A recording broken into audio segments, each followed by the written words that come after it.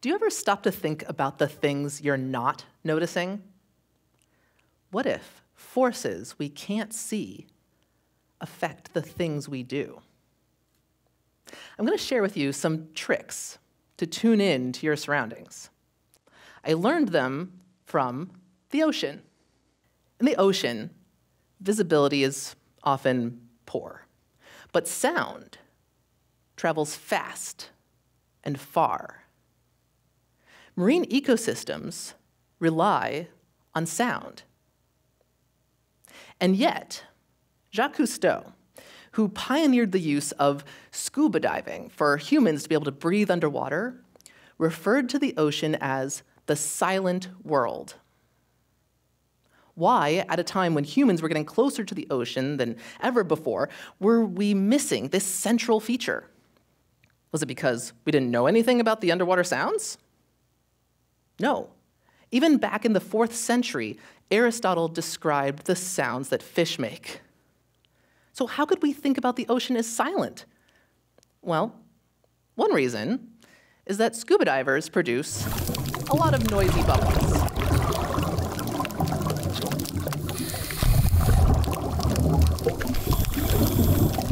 Now, even if you aren't a diver, this may sound familiar because Actually, the sound of scuba diving is sometimes used in movies to evoke a sense of being in the ocean, but this is not the sound of the ocean.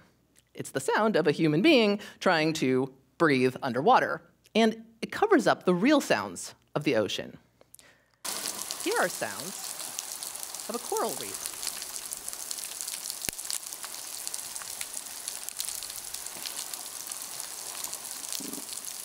That was a fish grunting. You're also hearing shrimp crackling, lobsters scratching, water moving. The ocean is a world of sound. And this resonates with me because, in addition to being a marine biologist, I'm also a musician and composer. And my training and interest in music led me to wonder what can we learn about the ocean by listening to it. And I've spent the last 20 years exploring that question. Here's what I do I put a microphone on the seafloor, and I leave it there, recording for months, eavesdropping on fish. And I get a lot of information. It's constantly recording day and night. It makes sense to study this underwater world of sound by listening to the sounds. Fish, live in a world of sound. But what does this mean for us humans? We like to say that humans live on land. That's kind of a funny expression when you think about it. Yes, we walk on the land, but actually, we live in air. We're surrounded by air. Our sensory organs function optimally in air. So sounds travel through the air. We also live in an, a world of sound. And I realized that we humans are limiting ourselves by not paying attention to our world of sound. Now, let's consider the human visual field versus auditory field, the space we can see versus the space we can hear. Contrary to what my daughter thinks, I do not have eyes on the back of my head. I can see in front of me, I have some peripheral vision, but if I want to see what's behind me, I have to turn my head. Guess what? Fish don't have necks. Yeah, fish they have their head connected straight to their body. They're like, we don't need necks because we live in a world of sound. So, what if we want to know what's going on behind us without turning to look? Let's be like fish. Let's listen. We can use our ears, we can also feel the vibrations of sound with our skin, our bodies. We can detect sounds from literally all around us. We can even detect sounds in the dark. We can detect sounds from in front of us that are hidden from view because sounds bounce and move around objects. Just think about echoes. When you sleep, your eyes are closed, but your ears are open. You can feel vibration. Our ability to receive sounds is so important. We keep it turned on even when we're sleeping.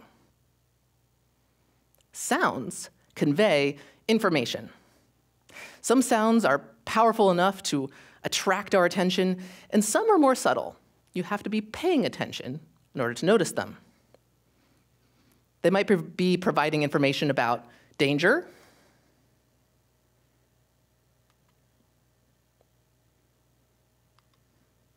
time of day,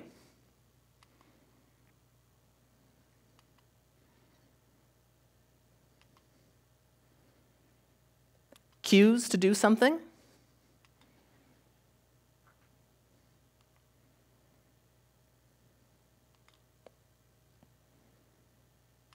Or information about food.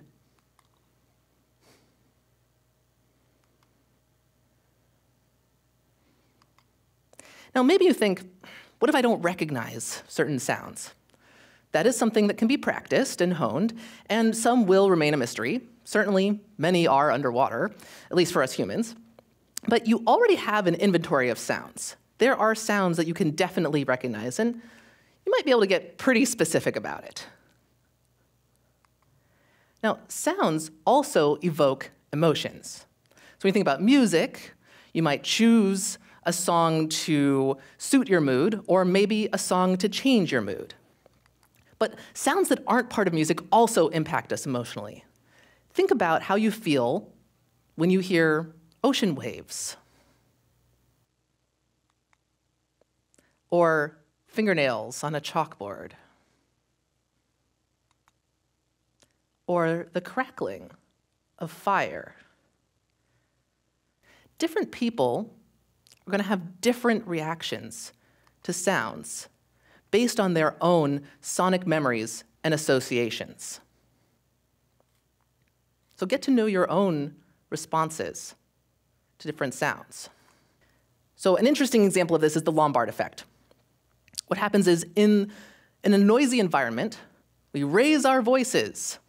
And maybe that seems obvious because, okay, well, we're raising our voices in order to be heard, but it actually happens even if you're not aware of it happening. And it's kind of a problem in choirs because everyone starts singing louder and louder and louder and louder without realizing it. Some other examples of these kinds of effects are entrainment, where your body is, uh, movements are matching the rhythm of a sound, or alarm fatigue in hospitals, where hospital workers stop noticing the bleeps and bloops of the monitors. You respond to sounds even if you don't realize it. But by paying attention, you can recognize the situations in which this occurs, and you can anticipate your own reactions and use them to understand and influence your own behavior. Now, I'm going to give you some tools, some tricks for you to explore the sounds in your environment. And it's drawing from basically three different disciplines neuroscience, ecology, and music. Let's give it a try right now. I'm going to be asking you a set of questions. I invite you to close your eyes. You don't have to, but I find sometimes it helps because our visual system is very strong. Let's, let's all take a deep breath.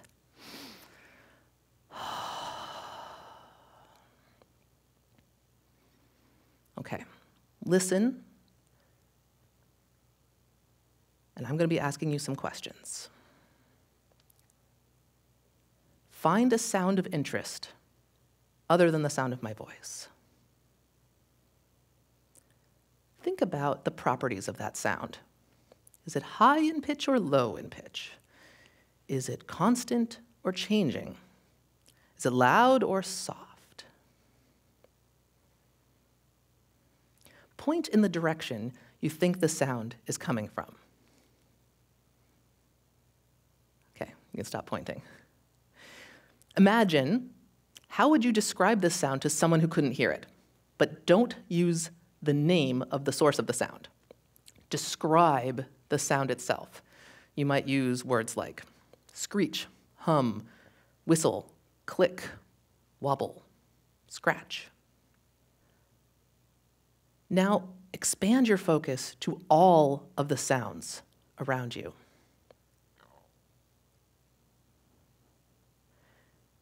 consider it as if it were a piece of music, an instrumental song. How does this soundscape make you feel? Is there anything you would change about it? Now, pick out one more sound, a subtle sound, maybe one that you didn't even know was there before. When you're ready, you can open your eyes. How was that for you? Okay, identifying and especially describing sounds can be challenging, but we can practice. Why do this though? Why, why tune in? By tuning in to the world of sound around us, we're broadening our perspective to our entire sound space. We're not just focused on what's right in front of our faces.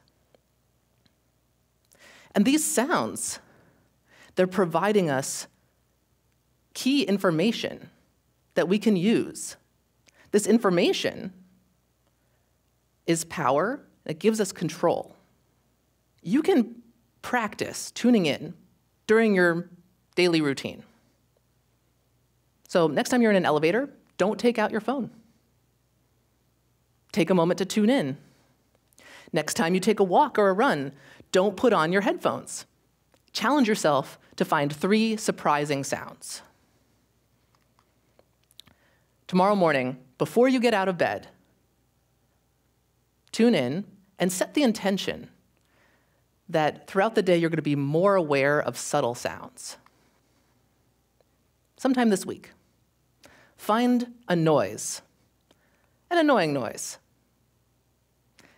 and make some sounds to go with it. Hum in tune with it, or you could try different pitches, or you could try clapping or tapping to merge with its rhythm or pulse. But get to know that noise more by interacting with it. Practice soundscape tourism. When you go somewhere new, don't just take pictures. Record sounds and make sound memories.